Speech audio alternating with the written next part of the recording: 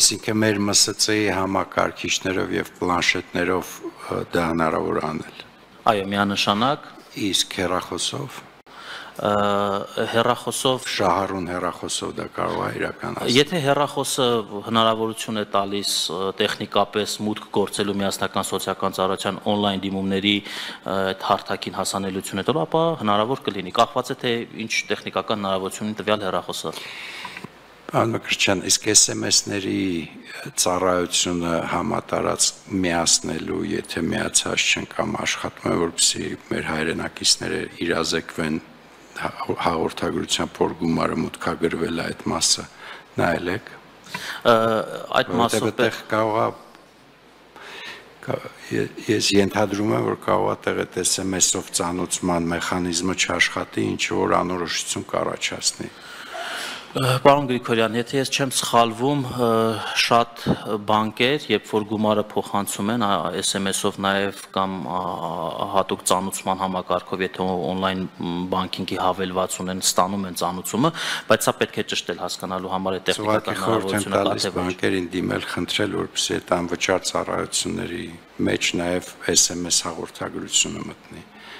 որպեսզի մարդիկ SMS-ով տեղեկացվեն, որ գումարը հաշվեգրվել է քարտային հաշիվների։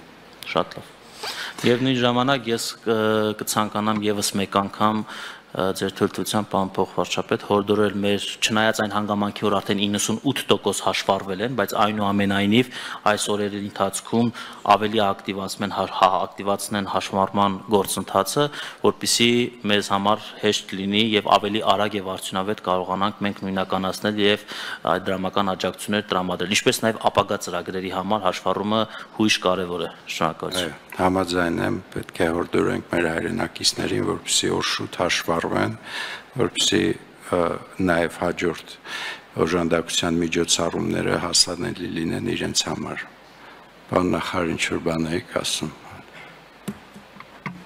Պարոն Փոխվարչապետ, ես ուղղակի ուզում եի ասել, որ հավանաբար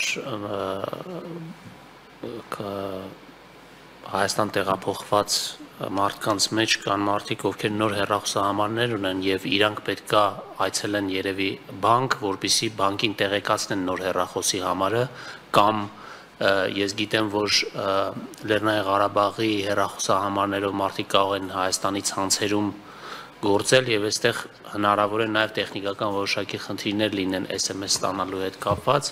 ուստի երևի ավելի ճիշտ կլինի, որ իրենք իրենց համարները գնան բանկում թարմացնեն տվյալները, որբիսի այս ձեր ասած